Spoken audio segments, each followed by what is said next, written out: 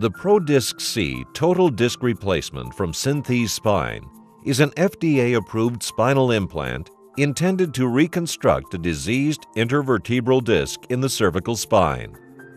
The ProDisc C is indicated for patients suffering from intractable symptomatic cervical disc disease, or SCDD, at one level between C3 and C7. The ProDisc C is a ball and socket implant that is composed of two cobalt chrome alloy end plates and a polyethylene insert. The polyethylene insert is affixed to the bottom end plate, forming the ball, and a polished dome in the top end plate forms the socket. The implant components work together with the surrounding spinal structures to provide stability and function. The ProDisc C implant is secured to the vertebral bodies above and below the disc space and held in place with two central keels. All bone contacting surfaces of the ProDisc C implant have a plasma-sprayed titanium coating to promote bony on-growth, providing long-term implant stability. The ProDisc C is a zero-profile implant that does not contact soft tissue structures after it is implanted.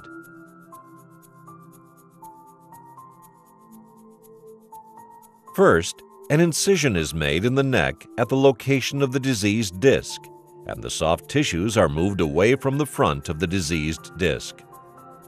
The surgeon then performs a discectomy and remobilization, removing the diseased disc and releasing pressure on the surrounding nerves and spinal cord.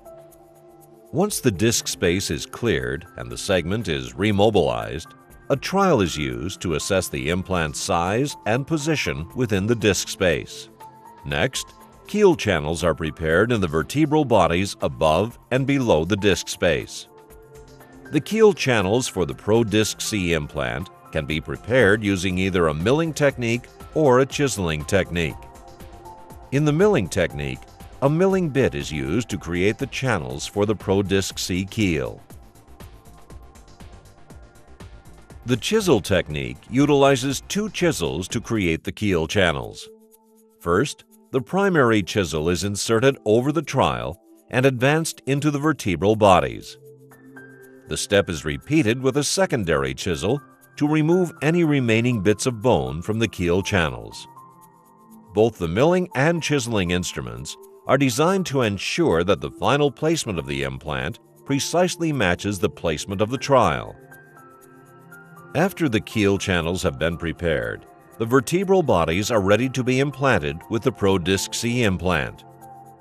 The implant is attached to the inserter, the keels are aligned with the keel channels, and the implant is inserted a into the vertebral bodies. The instruments are removed and the final implant placement is confirmed.